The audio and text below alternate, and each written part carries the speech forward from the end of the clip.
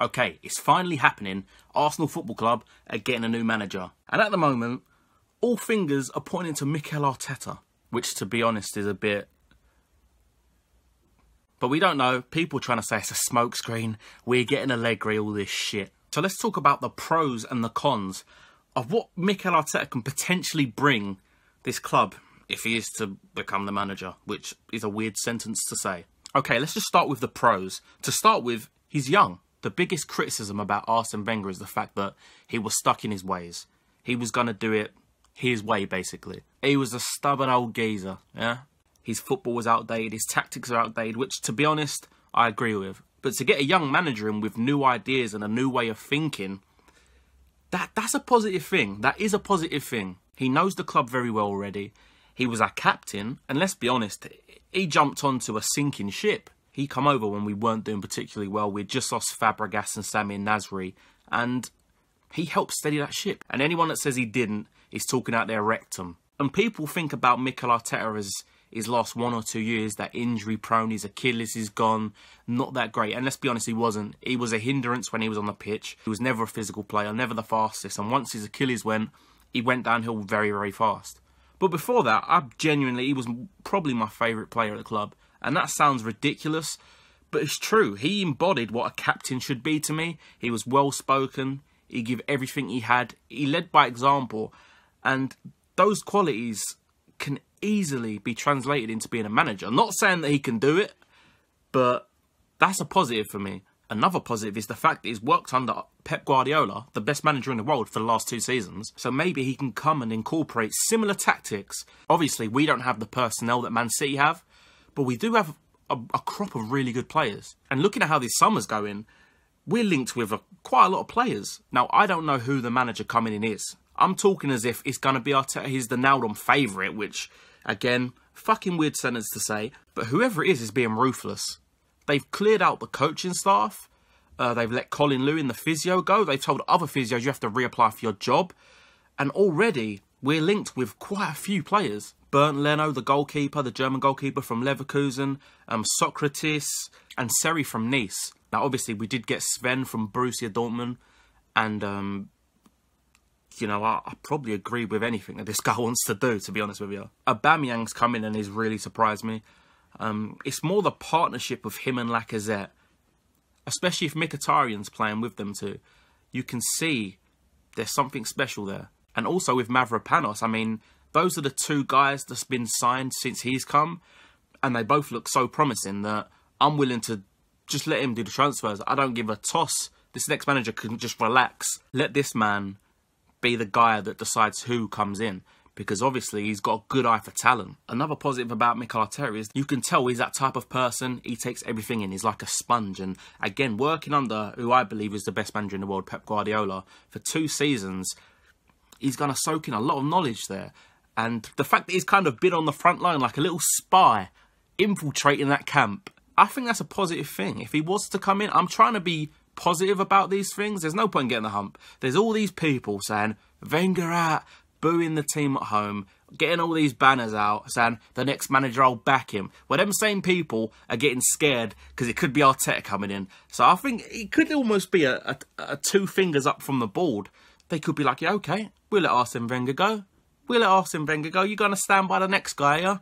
Here's Mikel Arteta for you. But yeah, basically all I'm saying is the fact that he's getting knowledge from a great manager um, different types of tactics, different ways of looking at the game, that's only a good thing. And lastly, I think one of the most important things I want from my manager, I want him to be respectful.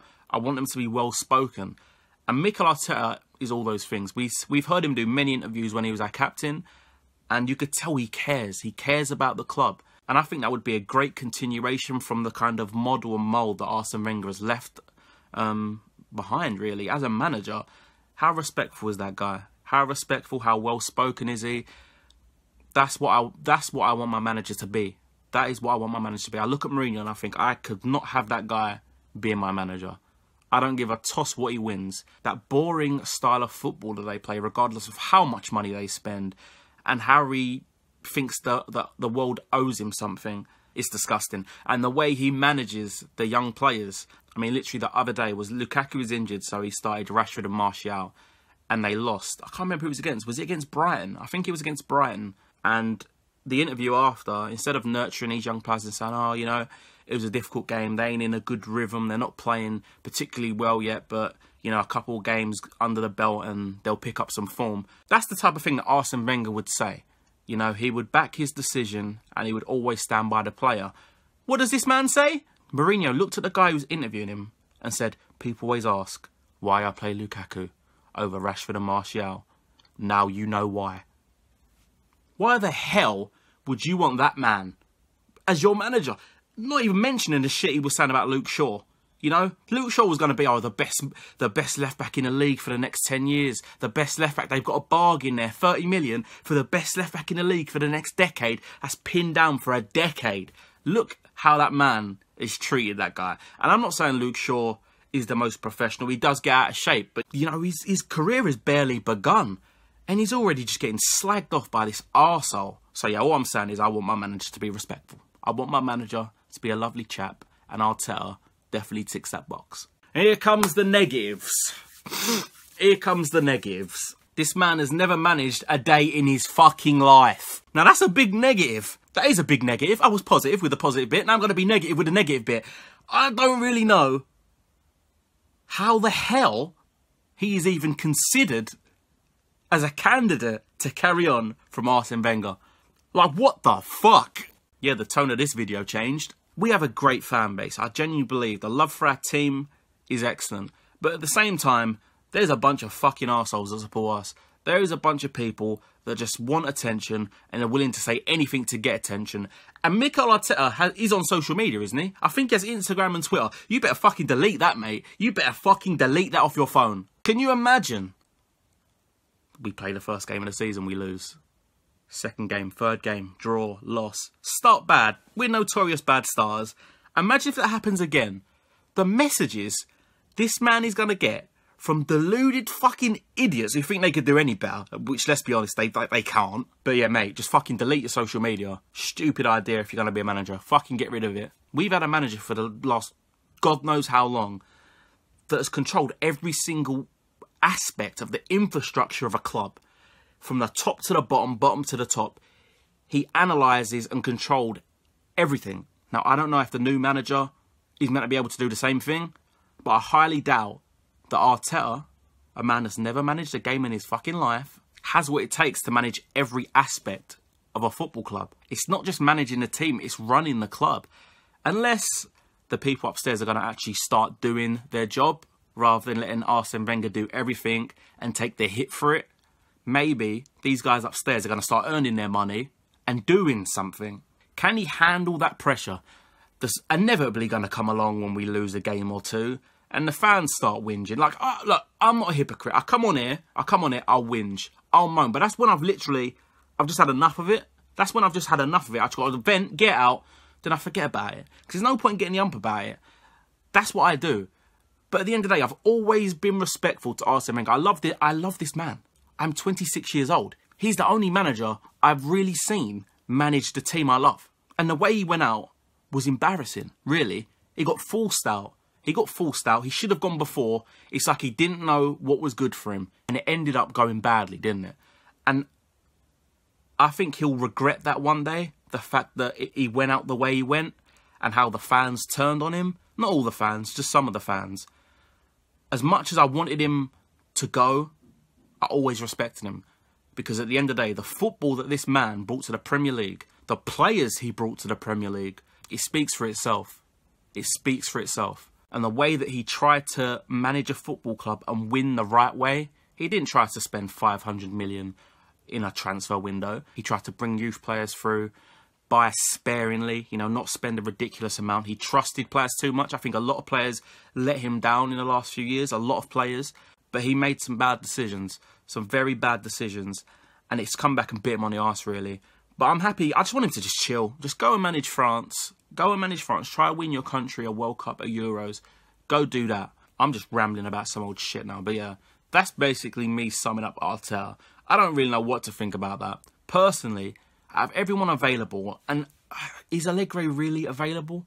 People are saying, oh, Allegri available, get him in. Simeone, get him in. Simeone, he might be a good manager defensively But I wouldn't want that guy to manage Arsenal. Like, that is a Chelsea manager if I've ever seen one. Like, you know what I mean? I just, I don't like how he acts on the sideline. There, there's like being there for your team, hyping your team up. And then there's been a little fucking hooligan on the sideline. This is the geezer that went down like he got shot in the leg when Beckham flicked a fucking boot at him. Do you remember that? And the replay. Is the same geezer. But nevertheless, what I'm saying is Simeone, I would never want him to manage Arsenal. People say Allegri, and I, think about it, this guy, would he really want to leave Juventus? He might be getting a raise, but there's an expectation that comes with that. We ain't no fucking Juventus. We're not the best team in the country by distance. Juventus are. Juventus win their like the equivalent of their FA Cup all the time. They win the league all the time. Quarterfinals, semi-finals, finals of the Champions League all the time. You're going to come to Arsenal. Well, we ain't do none of that. But people are going to be expecting you to get us to that level. And if you don't, ultimately, people are going to be like, should have just stayed with Wenger. Should have just stayed with Wenger. I can hear it now. You, you, you know it will come. There'll be the people who are too in love with Arsene Wenger will say, oh, we got rid of Arsene for this. We threw him under the bus for this. This is all your fault. All you lot with your fucking banners. I can see it in my mind's eye right now. At some point that will be said. yeah, if I was Allegri, why the hell would you wanna would you wanna go Arsenal if you could just add to your resume year after year managing a better team? He is a good manager. You know, he is a good manager. I would be happy if he did come, but I just I'm not getting my hopes up thinking, oh, the Arteta thing's a smokescreen. Allegri's coming in. I don't know. I don't know. And can he talk English? I don't think he can talk English. So when you got a manager to see for like two years and he's still got a translator in the interviews, fuck all that. Fuck all that. That does my head in. Now, me personally, it's not really a popular opinion, but I was looking at everyone available. I genuinely think if Arteta is in the running, don't get him yet. You see what Vieira's doing over in MLS. His team's improved every year. I think they're currently they was un- undefeated. They was undefeated. They had played ten games or so, and they was undefeated and top of their conference. But he's building something good there. He's getting experience managing competitive football, and I like that. I think Arteta should do something similar. Imagine if Arteta goes and manages someone in the Championship or League One, gets a promotion, or does really, really well and gets to really understand everything that being a football manager is, then you give him a chance, it makes sense. Now, that could take three, four, five years. Who knows? He might be a manager, he might be a complete failure. We don't know. We've seen players do that. If I can give someone the job who I believe is obtainable for, for a start, who we can definitely get, knows the Premier League, he currently manages in the Premier League, he speaks good English, He's been there and done that at the highest level. He's won Champions Leagues. He's got to Champions League finals, FA Cup. He didn't win the Premier League. But what he's done this season with a team that got promoted with no money and they finished a couple of spaces below us is Rafa Benitez. I know it's not a popular or glamorous thing, but I'm talking as though Vieira or Arteta or someone else, Thierry Henry even, might be that next guy who we have for a long, long period. I think you go and give Rafa Benitez three, four, five years. You, you give him a couple years, then you start evaluating it. Is he doing well? Are we improving? If not, I don't want to be one of these teams that change manager every one or two seasons. That's not Arsenal. And I'm willing to give anyone a chance. But it's too early to have Arteta be a manager. Vieira, they've they've inquired, they, they contacted him, and he thinks they're just doing it because, oh, they'll call me now. It's, like it's disrespectful. So I don't think Vieira will happen, uh, not anytime soon anyway. But if we're going to go with a young manager that we want to give a chance to really try to build something, he's got to come in with a bit of experience. So for now, a stopgap kind of manager, which I don't really like calling him that because he might do really well. I believe he would do well. He gets the most out of players. He'll know that you can't play football against everybody and win. You have to switch up. Sometimes we've seen this happen. Liverpool back in the day, great team. Valencia before that, very good team. People say oh, he went Real Madrid, he got sacked, all this stuff. Bruv, we ain't Real Madrid. I wish we was Real Madrid. We ain't fucking Real Madrid. We're a team that's just finished sixth. I mean, I'm just looking at the Premier League table here. Newcastle finished 10th. We ended up 19 points ahead of them, which sounds like a lot, but when you consider the statistics and look at it, Newcastle lost 18 games. We lost 13. That's only a five game difference with, well, people would say we have a lot more talented team than them. Five games they lost more than us, just five. We lost 13 games in the Premier League, which really isn't good.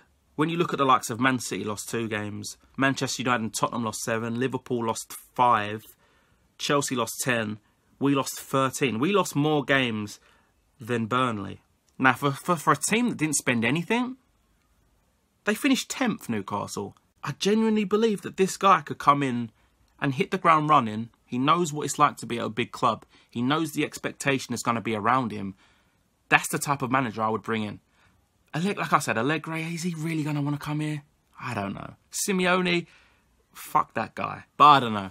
It's healthy debate. Leave in the comment section. Who, if you was Arsenal board, who the hell are you hiring and why? But yeah, thanks for watching. I ain't done a video for a bit. Needed to vent a bit. There's been a lot of shit going on in the last couple of months. Happy the season's finished. We get a fresh start.